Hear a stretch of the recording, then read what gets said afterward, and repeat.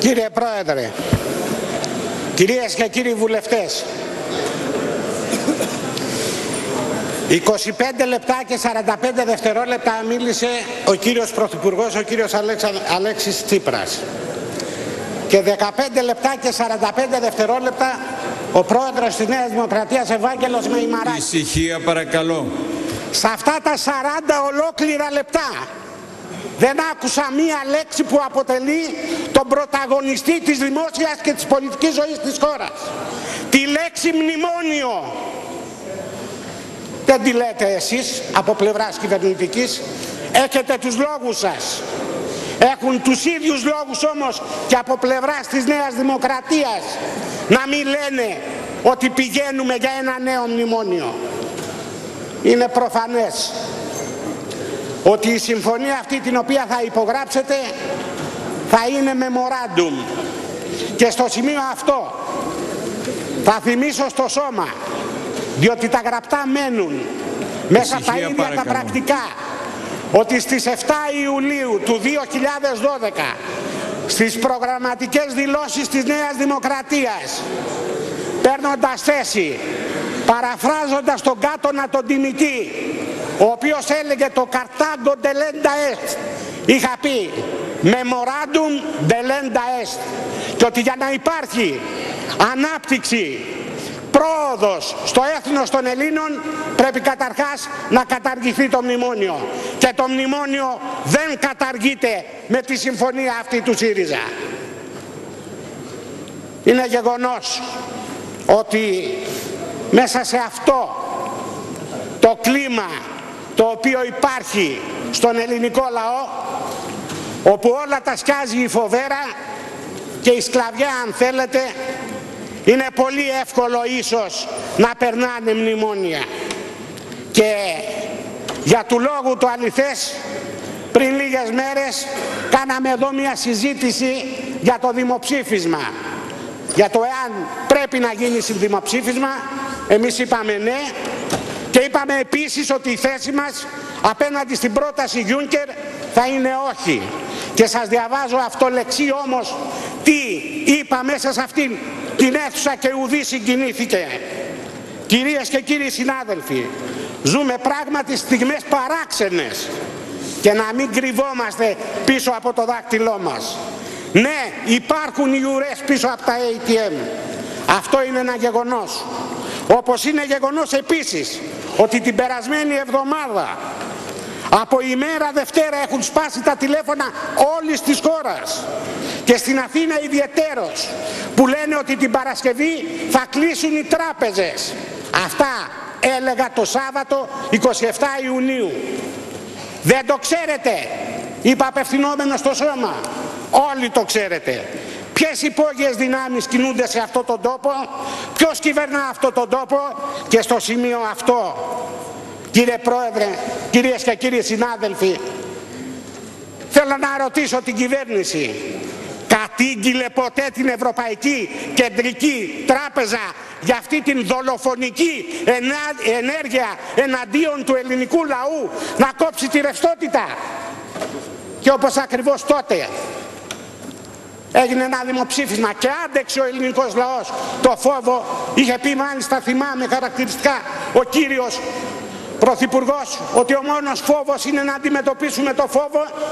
Έτσι και σήμερα, τώρα που γίνεται αυτή η συζήτηση απλώνεται παντού ένας φόβος. Οι ουρές των ATM υπάρχουν ακόμα.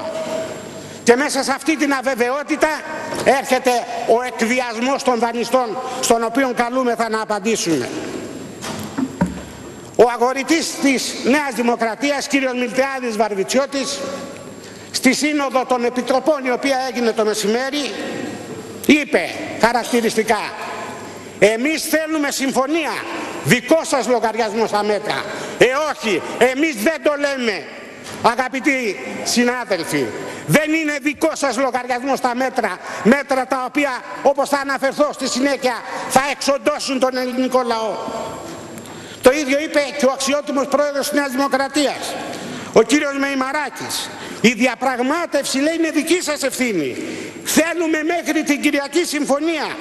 Δεν ψηφίζουμε μέτρα. Όχι, κάνει λάθος. Ψηφίζουμε μετά.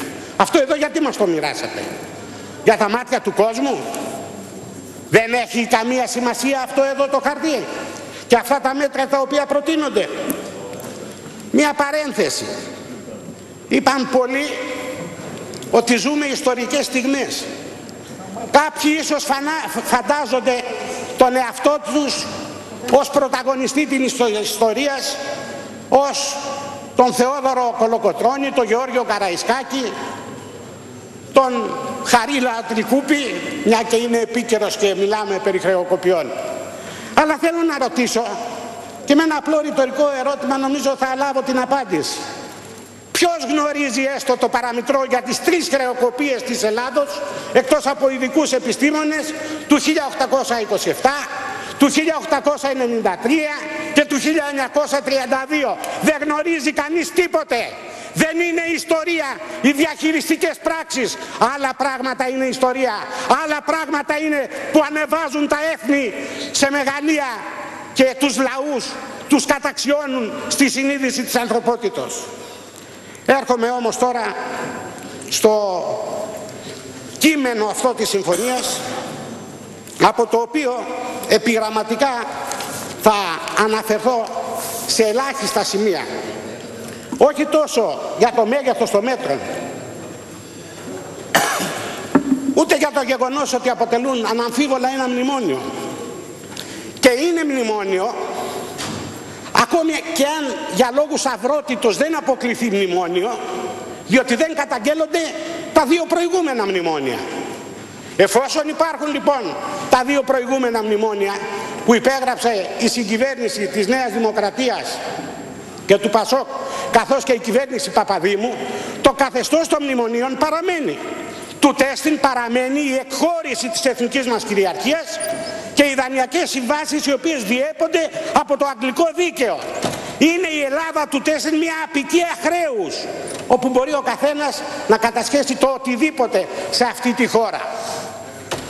Έρχομαι τώρα στο κείμενο αυτό το οποίο διενεμήθη και το οποίο επιγράφεται για την διαπραγμάτευση και σύναψη της Δανειακής Σύμβασης με τον Ευρωπαϊκό Μηχανισμό Σταθερότητας. Εις ό,τι αφορά το ΦΠΑ, 23% στην εστίαση και τα εστιατόρια. Αυτό μήπως θα έχει κόστος, μήπως θα έχει απολύσεις, μήπως θα έχει κλείσιμο επιχειρήσεων. Το σκεφτήκατε αυτό το πράγμα; Συνεχίζω. Μειωμένος συντελεστή 13% για τα βασικά αγαθά. Μα αφού τώρα έχουν τα βασικά αγαθά έχουν 6% ΦΠΑ. Πώς είναι μειωμένος όταν θα γίνει 13%.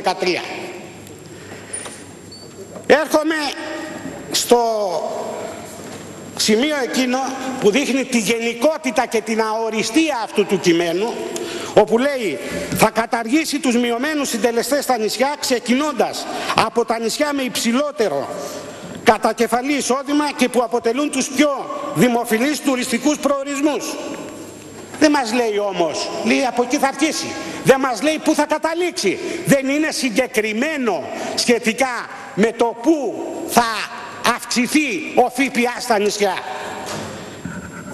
Συνεχίζω σε ένα άλλο σημείο πάλι του κειμένου αυτού όπου έχουμε το πρωτοφανές στοιχείο όπου αναφέρεται την εξάλληψη των δυνατοτήτων φοροαποφυγής από φόρο εισοδήματος.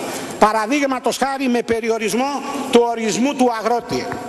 Το 1981 και αυτό είναι μια ευθύνη και της Νέας Δημοκρατίας που έβαλε με τις συνθήκες αυτές και του Πασόκ στη συνέχεια που τις διατήρησε την Ελλάδα στην Ευρωπαϊκή Ένωση η πατρίδα μας ήταν μια χώρα κατά βάση αγροτοκτηνοτροφική και συμφωνήσαμε, συμφωνήσαμε ναι.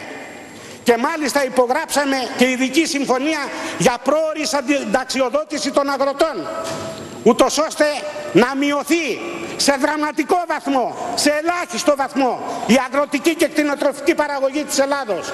Και έτσι σήμερα να είμαστε ένα κράτος εξαρτώμενο το οποίο θα πεινάσει κυριολεκτικά εάν σταματήσουν οι εξαγωγές.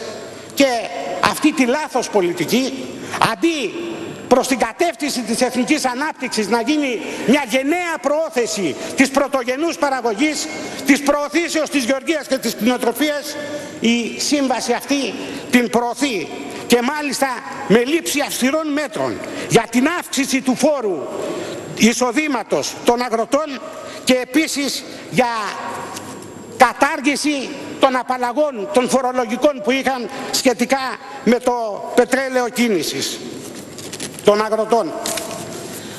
Συνεχίζω σχετικά με τη συμφωνία.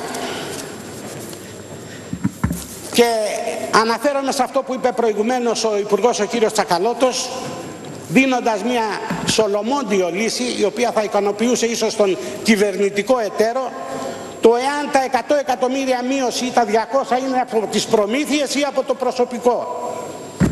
Δηλαδή βλέποντας και κάνοντας. Αυτό που είναι η πραγματικότης είναι ότι εδώ είναι σαφέστατο ότι μιλάμε για μείωση του προσωπικού και των προμηθειών. Κύριοι και κυρίες, η Ελλάδα δεν είναι ούτε Βέλγιο, ούτε Λιχνενστάιν, ούτε Λουξεμβούργο. Είναι μια χώρα η οποία βρίσκεται υπό απειλή. Υπό απειλή επίσημη διατυπωμένη από τη Βουλή της Τουρκίας με το κάζους μπέλι εάν επεκτείνει τα 12 μίλια στο Αιγαίο.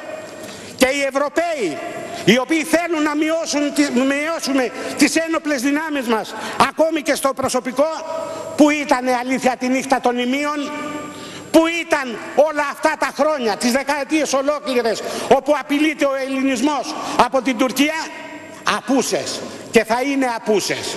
Διότι δεν έχουν τη δύναμη.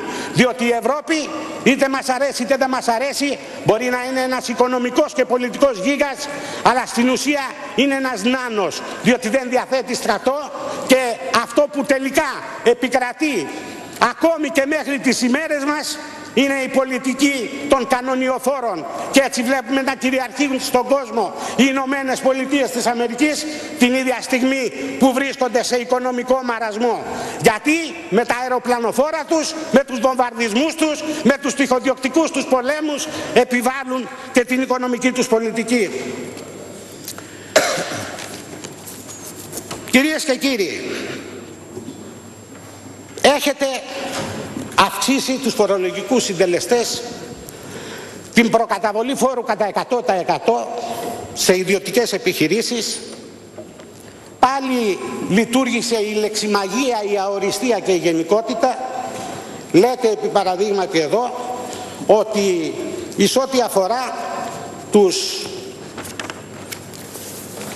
ελεύθερους επαγγελματίες θα αυξηθεί θα αυξηθεί και αυτονών η προκαταβολή φόρου στο 100% έως το 2017.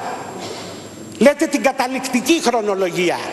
Δεν λέτε τη χρονολογία ενάρξεως. Εάν αυτή είναι το οικονομικό έτος 2015 ή 2016. Όλα αυτά καθώς φαίνεται θα μαγειρευτούν. Θα μπορούσα να πω και πολλά άλλα σχετικά με το κείμενο αυτό το οποίο είναι ένα κείμενο γεμάτο σκληρές και αντιλαϊκές προτάσεις, μέτρα σκληρά, τα οποία είναι σίγουρα ότι, σίγουρα ότι δεν θα οδηγήσουν σε ανάπτυξη την οικονομία μας.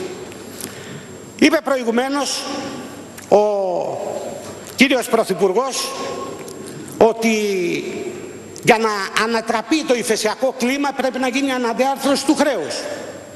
Όμως έχουμε δήλωση μόλις πριν δύο ημέρες του Υπουργού Οικονομικών του κυρίου Τσακαλώτου, ο οποίος μίλησε για μακροπρόθεσμο, μακροπρόθεσμο, στο χρόνο, στο μέλλον, ορισμό της αναδιαρθρώσεως του χρέους. Και έχουμε και τη δήλωση Γιούν και στο Ευρωκοινοβούλιο που είπε ότι από τον Οκτώβριο θα το συζητήσουμε. Έχουμε όμως και μία άλλη, πιο τραγική και πιο κοινική δήλωση. Τη δήλωση του ίδιου του Σόιμπλε, ο οποίος είπε ναι, το ελληνικό χρέος δεν είναι βιώσιμο, αλλά η Ευρωζώνη δεν μας επιτρέπει να το περικόψουμε, να το αναδιαρθρώσουμε. Δηλαδή τι μας λέει με λίγα λόγια, ότι αν όχι φέτος, του χρόνου, σε δύο χρόνια, σε τρία χρόνια θα χρεοκοπήσετε. Αυτό λέει ο κύριος Σόιμπλε. Καμία λοιπόν μέρημνα και εις ό,τι αφορά το ζήτημα του χρέους. Θα ήθελα επίσης να πω ότι αυτοί οι οποίοι πιστεύουν ότι η Ελλάδα είναι θύμα εκβιασμού θα μπορούσαν θαυμάσια και αυτοί να γίνουν εκβιαστές. Πάσαλος πασάλο κρούεται. Πιστεύετε; Και είναι δυνατόν στην παγκόσμια οικονομία μέσα με τα χρηματιστήρια μια άτακτη χρεοκοπία μιας χώρας εντός της ζώνης του ευρώ να μην έχει συνέπειες; Μόνο με την ελληνική κρίση των τελευταίων μηνών και το ευρώ έχει χάσει αρκετά λεπτά της αξίας του έναντι του δολαριού που σε, με βάση τα συνολικά αποθέματα αυτό το κεφάλαιο ασφαλώς είναι τεράστιο. Θέλω επίσης να κατηγορήσω την κυβέρνηση. Όχι γιατί όπως έλεγαν μέχρι πριν από λίγο καιρό αυτοί που με άνεση συμφώνησαν μαζί της ότι έχει σχέδιο Β θέλω να την κατηγορήσω ότι δεν έχει και δεν είχε ποτέ σχέδιο Β και θα έπρεπε να έχει σχέδιο Β και ο νόν νοήτο ζούμε όμως και κάποια πράγματα τα οποία ξεφεύγουν από κάθε όριο της λογικής μας έλεγε η Νέα Δημοκρατία και τα λοιπά κόμματα τα οποία υπεστήριξαν το ναι στο δημοψήφισμα ότι εάν έβγαινε το όχι, το οποίο υποστηρίξαμε, την επόμενη ημέρα η Ελλάδα θα έβγαινε από το ευρώ. Και τους βλέπουμε τώρα χέρι-χέρι με την κυβέρνηση που υποστήριξε το όχι να πηγαίνουν να υποστηρίξουν το ευρώ και να παραδίδουν γη και είδο. Να λένε συμφωνία θέλουμε και ό,τι να είναι. Ε όχι. Εμείς δεν συμφωνούμε πάνω σε αυτό το σημείο. Και θέλω να πω ότι κατόρθωσε η κυβέρνηση μαζί με τα κόμματα του ΝΕ σε κοινή συμφωνία να ενώσουν τον ελληνικό λαό να ενώσουν τον ελληνικό λαό στην απελπισία στις ουρές των ATM και έτσι και κάθε ψηφοφορία σημερινή που γίνεται ακόμη και η σημερινή μέσα σε αυτό το κλίμα είναι μια ψηφοφορία η οποία περιέχει το στοιχείο της νοθείας. Παρά τα αυτά η Χρυσή Αυγή μην υπολογίζοντας το, το πολιτικό κόστος και συμπάσχοντας απόλυτα με τους ουρές των συμπατριωτών μας τα ATM που είναι θύματα μιας ανευθυνότητας αλλά και των οικονομικών δολοφόνων της Ευρωπαϊκής Κεντρικής Τράπεζας θα σας πει όχι δεν σας δίνω την εξουσιοδότηση για αυτή τη συμφωνία. Δεν σας δίνουμε την εξουσιοδότηση να εκχωρήσετε εθνική κυριαρχία. Δεν δεχόμαστε το αγγλικό δίκαιο. Θέλουμε την Ελλάδα και ας τρώγουμε πέτρες όπως έλεγαν στον καιρό της ΕΟΚΑ Ευχαριστούμε κύριε Πρόεδρε.